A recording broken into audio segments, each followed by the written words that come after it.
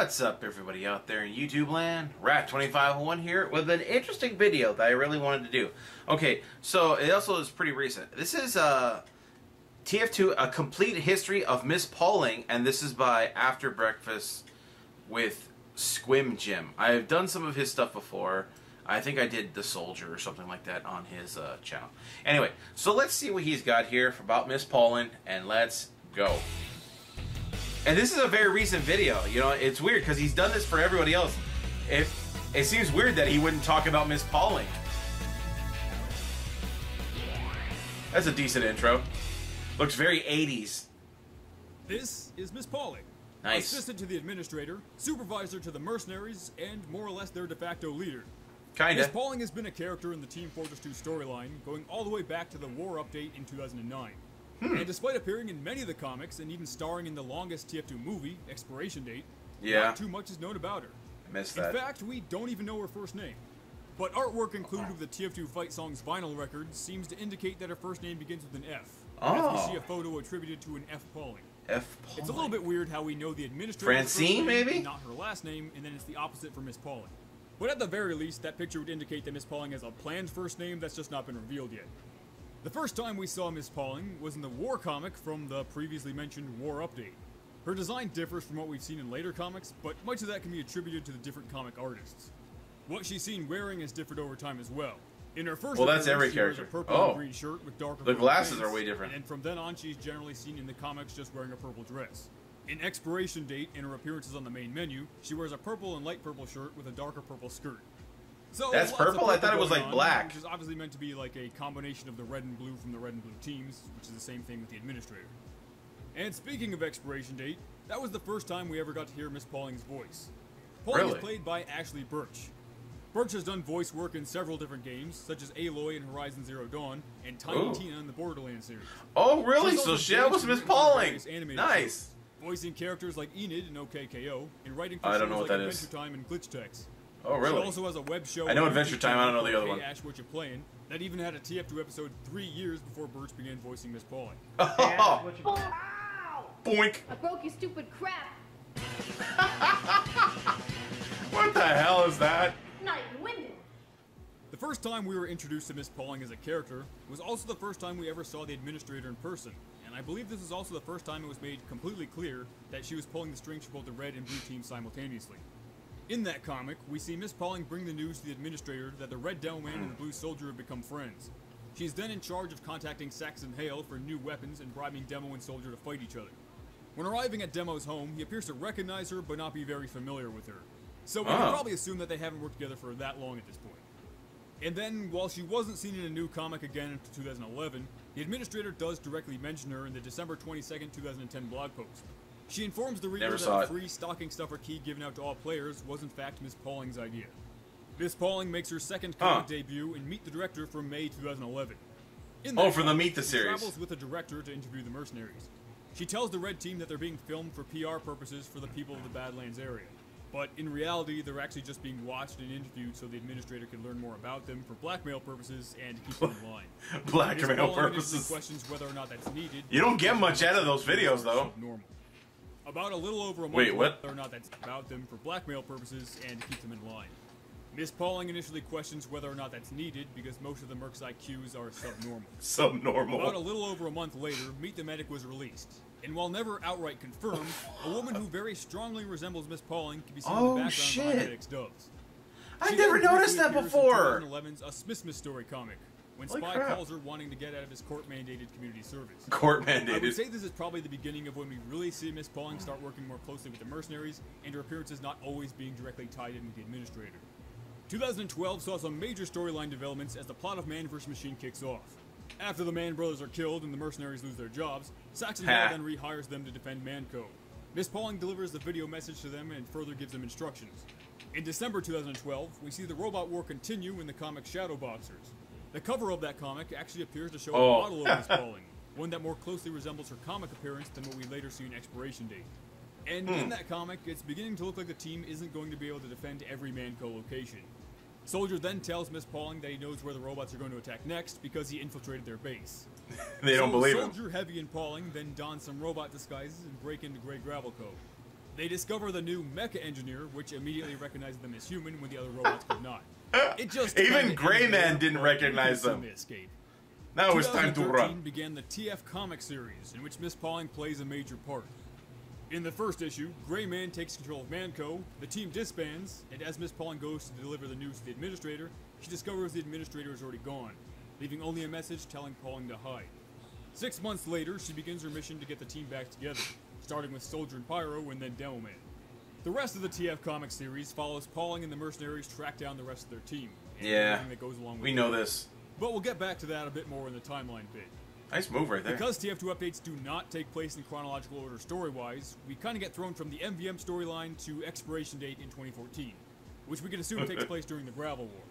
And then 2015 was actually a pretty Pauling-centric year, with the two biggest updates, Gun Mettle Really? and Tough Break, featuring her in comics Huh. and update artwork. And also tons of new Miss Pauling voice lines for the new contract system, where Miss Pauling delivers contracts for the player to complete. And that year, she also appears in the Halloween comic Gargoyles and Gravel, where she attends the Mercenaries' Halloween party. And then Miss That was a Pauling makes one. a brief appearance in 2016's Showdown comic, where she walks by the Heavy as he's breaking into the Administrator's lair. We learn in her personal ad in the Two Fort Reader that Miss Pauling works 364 days a year. She Whoa. mentions again an expiration date that she only gets one day off. However, during the Tough Break update, the New Mexico Department of Labor discovers she isn't given any time off and is sent on a state mandated vacation, which she takes but ends up working the whole time anyway. oh, During that time off, she visits the Alamo, Slurry Beach, Granny's old fashioned bomb. Hey, what? During that time off, she visits the Alamo, I want to see the background of this stuff. Oh yeah, that's right. They moved the Alamo up there. That's right. The the ma- Slurry Beach, What the hell? Okay. That looks that looks gross. Granny's old fashioned. Bombs delivered by cart the way they were meant to be at Granny's Works World Headquarters. Bomb factory. Oh my god, man. Bomb Factory, the Two Fort Public Library, the Lord Lars continuously burning book fire. Erasmus's Ancient Sumerian Carnival, Oh my god, man. The Soul Taker. Admission, one soul. Doesn't that have to be yours? Nice. the Mann Co. Recalled Product Outlet Mall, Recalled product outlet mall. Sex says every product might kill you. Want a refund? Fight me for it. takes a ride on Poopy Joe's Rapid Descent, Gross. Wait a second, wait a second. Okay, that's just. I don't know what the hell's with the. visits the John Doe Raccoon John Doe. and Scout's very own Tom Jones Museum. Tom Jones Museum? What the? According to Voice Lines, she also goes to a beer garden with Demo, a ladies' book club, takes a boxing class, goes sightseeing Oh. in Tuport, camping with Soldier, goes on a cave tour, attends an assistance conference with Mr. Bidwell, plays some gargoyles and gravel with Scout, goes to a Bidwell, gun show with right. Heavy, enters the hot dog eating contest, goes to a key party, takes piano Hmm. lessons from Spy, sees Shakespeare in the park, learns how to sew a heart inside of another heart from Medic, goes on a vision quest with Huh. Sniper, and does wine tasting with Spy. So, Dude, why don't we have comics of all that vacation, shit? Though she's also delivering contracts throughout the whole thing. As the years went by, Miss Pauling's relationship with the mercenaries became closer. But even from the beginning, she's always acted as the straight man to the more deranged characters she interacts with. She's like the their craziness mom. of the mercenaries, or the obliviousness of Saxton Hale, and the over-the-top cruelty of the administrator. She's outwardly much nicer and more approachable than the person she works for, and is also kind of a big True. nerd. Someone who's into board games and gun catalogs, and someone who gets excited over new clipboards. But despite all that, she's incredibly loyal to the administrator and will carry out her demands without question, including bribing the soldier and demo to fight each other, framing people. She framed them to fight each other. Yanking molars out of corpses and murdering the director and countless other people. While she likes the team she works with, even to the point where she hangs out with them on her time off, she's still more than willing to pit them against each other, lie to them, and do pretty much whatever the administrator tells her to do.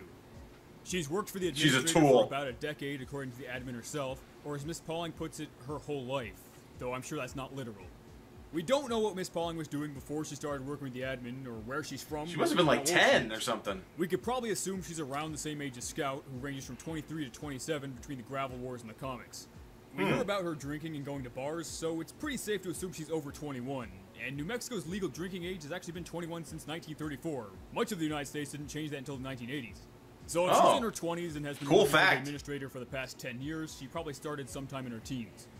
Why does she do this job? We don't really know. Even Miss Pauling doesn't know for sure what the administrator's ultimate plan is. But Pauling trusts her. She believes her for some reason. The plan is ultimately fulfilled.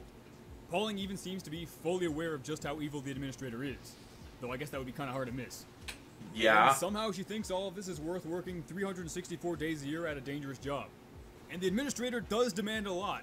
This voice No shit. reveals that the admin will invite Pauling over for dinner just to have it be an ambush. She's over there. Hey, it's Pauling. So, the administrator invited me over to her place for dinner. No! I got But her. it turns out it was just an ambush to kill me. Hold on. Watch out, she's armed. She does this every few years. It's like her version of an employee review. Anyway, Damn. got time for a contract? But Oh, uh, shit. I guess all of this has become normal to Miss Pauling. Never heard that one apparently before. she hopes it's going to be worth it in the end. The mercenaries, on the other hand, they're mostly just in it for the money. And while they don't seem particularly fond of the administrator, Or just because they're stupid. seem to like Miss Pauling and respect her role. Okay, well, Sniper is very willing to poison and threaten her for information when he no longer works for her employer, but uh, after that.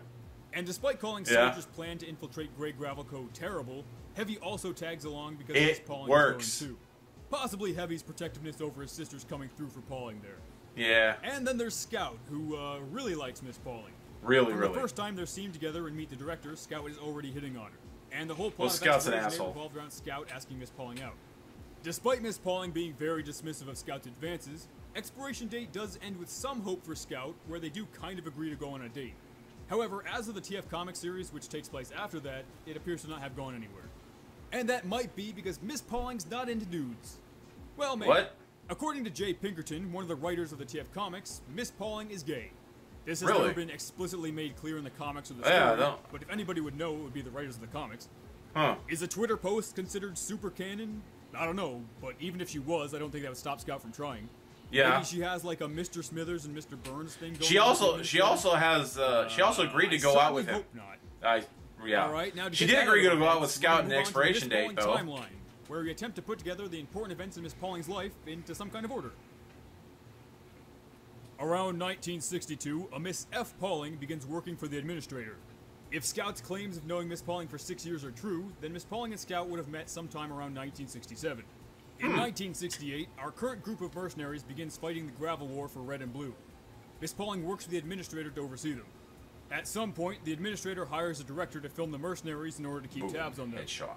After filming is complete, she murders the director in a cave and disposes of his body. After Poopy Joe's tragic death in that rocket accident, which was discovered to be missing its Australium fuel supply, the administrator and Miss Pauling attend a Senate investigation into what happened to that Australium. Later, Miss Pauling contacts Saxton Hale for new weapons and is tasked with bribing the Red Demo Man into fighting his new friend, the Blue Soldier. When it's discovered that Miss Pauling has never had time off, the New Mexico Department of Labor forces her to go on vacation. She continues to work during the whole thing. When Miss Pauling is looking for incentives to get the mercenaries to do their jobs, she meets with Saxton Hale to get some new guns. He shows her his fancy new skinned guns that are only for his top clientele. Australium guns. her. So she breaks Asshole. in later that night and steals those guns. Nice. In Wait, 1970, dude, what did that which doesn't say? include her. So she breaks I owe you a hundred million dollars. Thanks. later that night and steals those guns. In 1971, Medic and engineer discover that teleportation may be giving the team tumors.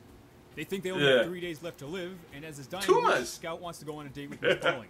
Instead of actually asking her, he sounds the briefcase alarm, and Pauling comes to the scene. A giant bread monster is made, they all fight it, and then it ends on a fairly positive note for Scout and Miss Pauling. yeah. Later that year, Miss Pauling attends a Halloween party with the mercenaries. She, Scout, Heavy, and Soldier play gargoyles and gravel. I pick up the When the amulet. robot war breaks out, she delivers a video message from Saxton Hale to the mercenaries that they're now being hired to defend Manco. In December of that year, Miss Pauling, Soldier, and Heavy break into Grey Gravel Co. and discover the new mecha engineer. I hate to be those humans right now. 1972, Grey Mann takes control of Manco. The team disbands, the administrator disappears, and Miss Pauling goes into hiding. Six months later, she begins her mission to reform the team. Pauling dresses up as a police officer and fake arrests Soldier after he murders Tom Jones.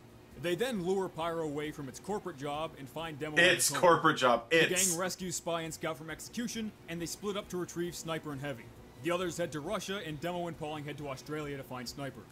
When they arrive, Sniper poisons them and ties them up, demanding to know where his real parents are. Miss Pauling informs him that they're on their way to see his real parents anyway. So they all head to New Zealand, where they eventually get captured by the TFC team and Medic. They're brought And back Medic. to Grey Gravelco and held prisoner. but Soldier and Zhanna break them out. Kurt, dying neck Grey man stab. then pleads with Pauling to stop the administrator, claiming that anything bad he would have done with the Australium wouldn't be nearly as bad as what the administrator would do. Miss Pauling makes a speech in defense of the administrator, but Gray Mann dies during it without her noticing. and so they escape, they beat the TFC team, and reveal that their team name is actually Team Fortress. And that's And that there were other teams too. Will the administrator's plan ever actually be revealed? Psh, I don't know. I know, man. But When are we gonna get some closure here? Pauling. And if I left some stuff out that was directly revolving around the administrator, or things very strongly implied to be revolving around her, it's mostly because I'm saving that for the administrator episode. And Oh, he has an who should be administrator next? The administrator? Saxton Hale? The Mann Family? Trevor again? Decide for me. I can't do it. Hmm. And if you want to see these videos early, or just want to give me money so I can obsessively read over every I would say the Mann Family, actually. existence, then consider joining my Patreon, like these fine fellows. Especially cool stuff, Varric and Captain Forex. And yeah, that's it. And yeah. Thanks for watching, and peace out, dogs. Okay. Anyway, so there we go. That was the end of that one. So I hope you guys enjoyed that. That was a complete history of Miss Pauling. Yeah, I don't know about the whole uh, gay thing. Like that's like not mentioned anywhere. It like it's like somebody just threw that in a tweet for virtue signaling or some shit. Anyway, so that was after breakfast with Squim Jim and his uh, history of Miss Pauling. So I hope you guys enjoyed that. I did. I thought it was very informative. Had some stuff in there that I didn't notice that I didn't know before, especially the the figure behind the birds and Meet the Medic. I didn't even notice that. That was pretty damn cool. So, of course, guys, click on the link to the original down in the description. Get down to After Breakfast's channel and subscribe to him and give him a like on the original video. And subscribe to me if you haven't before you go. Give this video a share and help us to reach that 100,000 subscribers by the end of the year. I will see you guys next time. Tune in every day for new content. Bye bye.